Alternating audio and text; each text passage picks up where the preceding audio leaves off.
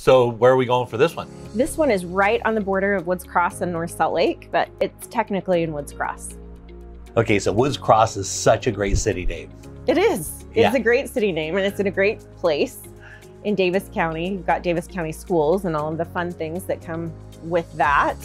And look at this. This is beautiful. It is. It's really a great, wonderful townhouse. It's good size. Um, the rooms are, they're large. Um, there's lots of, you know, elbow room there to kind of move around. You can see that there's a, a decent sized sectional there and still plenty of room They, on the main level. Yeah. they must be decorators because they've done such a good job with those blues and just pulling them in. They're really subtle in areas. They really, I mean, they are. I They've mean, been watching their HGTV day. apparently, no, I mean, I really like it a lot. It's a nice kitchen, nice big cabinets and quartz countertops, stainless steel appliances. The pantry's a good size.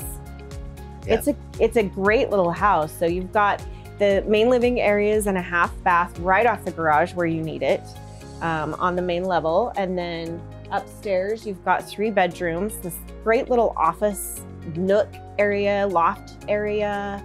Look how big these rooms are. Like this is that's Yeah, just lots one of, the secondary rooms, right? Walk-in closets and in all of the sep- all of the bedrooms basically. A nice full bath just right at the top of the stairs. Another bedroom, nice big windows. Each of these Lots rooms of are so charming. Each one I go into, I'm like, Isn't oh, it this is this one's cuter than the last one. Like Yeah. I, that, that was hard yeah, to do. and this one is my favorite. Look at this! Wow. Yep, I love having the two windows that frame the bed. It's a good sized primary suite, separate tub and shower in the bathroom. Um, and again, with the quartz countertops and really well organized closet. Um, it's a good space. And then you've got this really wonderful private space in the backyard too. It's really private Yeah, very very and nice. big. This is the biggest yard I've ever seen on a townhome, Yeah. ever.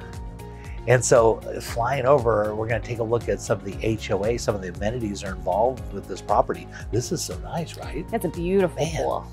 Beautiful pool, lots of green space.